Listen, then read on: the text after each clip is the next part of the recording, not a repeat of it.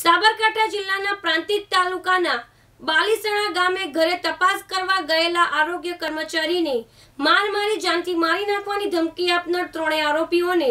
આજે પાસા હેઠળ અલગ અલગ જેલે મોકલી આપવામાં આવ્યા છે.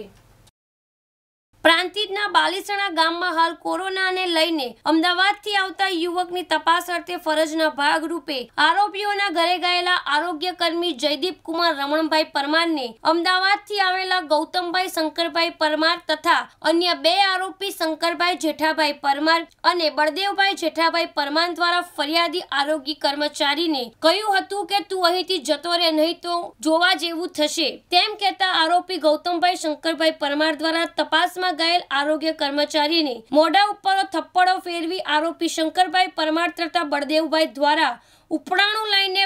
આવી બીભત્સ ગાળો બોલી ફરીથી અમારા ઘરે આવશો તો તને જીવતો નહીં દેવા દઈશ. તેમ કહી જાનથી મારી નાખવાની ધમકી આપી હતી. તો પ્રાંતિજ પોલીસ સ્ટેશનમાં ત્રણેય વિરુદ્ધ એકવીસ ચાર બે હજાર વીસના રોજ ફરિયાદ નોંધાઈ હતી, જેમાં પ્રાંતિજ પોલીસ દ્વારા ત્રણેયની અટકાયત કરી હતી. તો જિલ્લા કલેક્ટર સી જે પટેલ દ્વારા તાત્કાલિક ધોરણે ત્રણેયને સજા સુનવાણી હાથ ધરતા ત્રણેય આરોપીઓને પાસા હેઠળ જિલ્લા બહાર અલગ અલગ જેલમાં રાખવામાં આવ્યા હતા, જેમાં ગૌતમભાઈ શંકરભાઈ પરમારને વડોદરા તથા શંકરભાઈ જેઠાભાઈ પરમારને સુરત તથા બળદેવભાઈ જેઠાભાઈ પરમારને રાજકોટ ખાતે આવેલ જેલમાં મોકલી આપવામાં આવ્યા હતા.